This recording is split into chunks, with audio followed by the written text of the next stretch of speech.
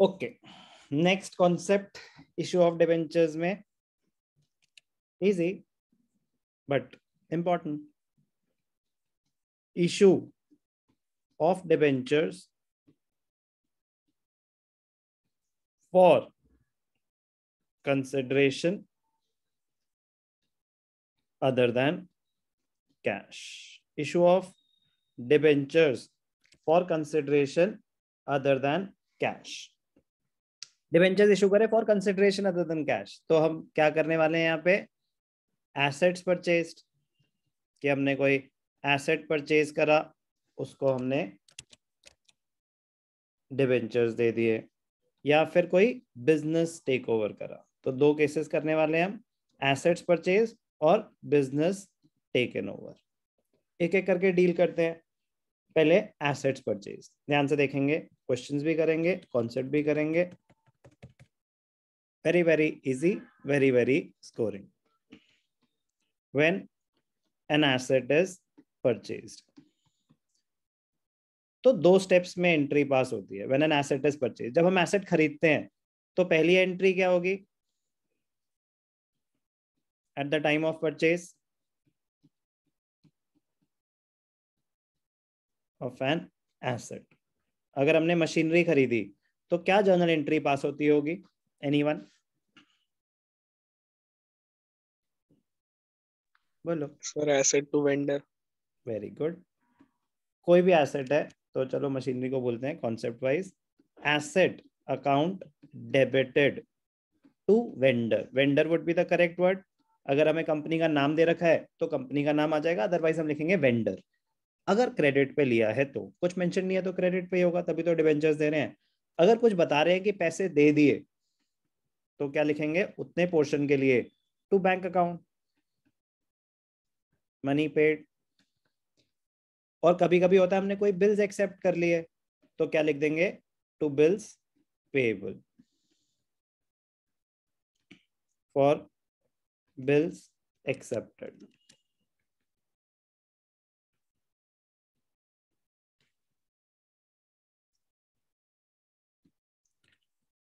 तो पहली एंट्री में किसी को कोई भी doubt no sir second entry more important settlement of the liability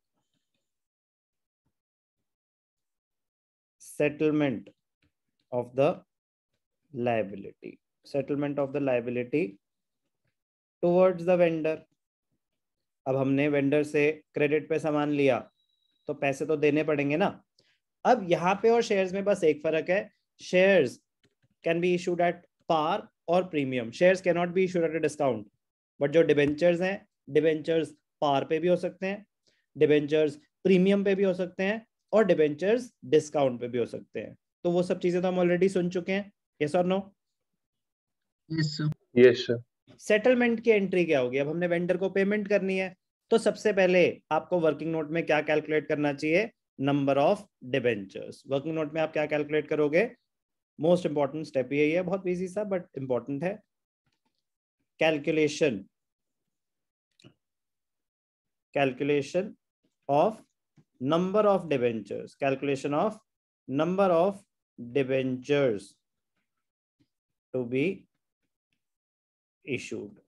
Calculation of number of debentures to be issued. Number of debentures कैसे कैलकुलेट होते हैं?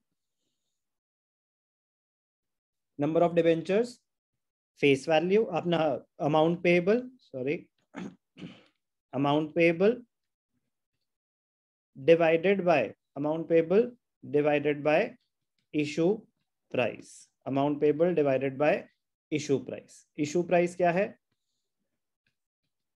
फेस वैल्यू प्लस प्रीमियम और अगर डिस्काउंट है तो face value minus discount number of debentures amount payable divided by issue price कोई भी doubt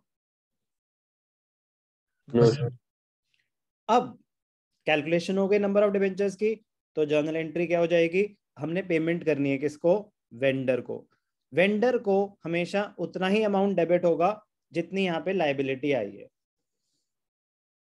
उसको फ़र्क नहीं पड़ता कि डिबेंचर्स पार पे हैं प्रीमियम पे है या डिस्काउंट पे कह रहे भाई साहब, मुझे मेरे पैसे मिलने चाहिए। डिस्काउंट पे है डिबेंचर्स तो मुझे ज़्यादा डिबेंचर्स दे दो। प्रीमियम पे है तो कम से कम चल जाएगा। तो वो तो कैलकुलेशन बताएगी ना कितने डिवेंचर्स इशू कर रहे हैं। वेंडर को उतने पेमेंट मिलनी चाहिए जितना भी ड्यू है। डिस्काउंट है तो वो फर्म का लॉस है। तो इसलिए डिस्काउंट अगर है तो डिस्काउंट ऑन इशू डेबिट करो। वो फर्म का लॉस है, उससे वेंडर को कोई लेना देना नहीं है। डिस्काउंट पे डिवेंचर्स तो ज़्यादा देने पड़ेंगे। To, x percent debentures to, securities, premium reserve. Premium पे है तो भी फर्म का प्रॉफिट है। वेंडर को अपने पैसों से मतलब है। प्रीमियम पे है तो कम डिबेंचर्स में काम हो जाएगा। डिस्काउंट पे है तो ज़्यादा देने पड़ेंगे। अब यहाँ तो डिस्काउंट होगा या प्रीमियम होगा, दोनों चीज़ें नहीं हो सकती। तो डिस्काउंट डेबिट क्यों होता है? ये फर्म का लॉस है। प्रीमियम क्रेडिट क्यों होता है? ये फर्म का प्रॉफिट है।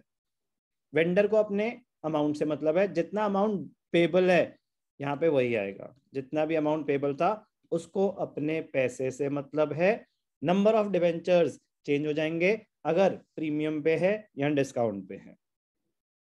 तो दो एंट्रीज होती हैं, दो स्टेप्स होते हैं। When an asset is purchase तो पहले जब एसेट परचेज करे तो एसेट टू वेंडर पेमेंट अगर उस टाइम पे कुछ हुई है, कोई और इंस्ट्रूमेंट है तो वो एडिशनल एंट्री आ जाएगी।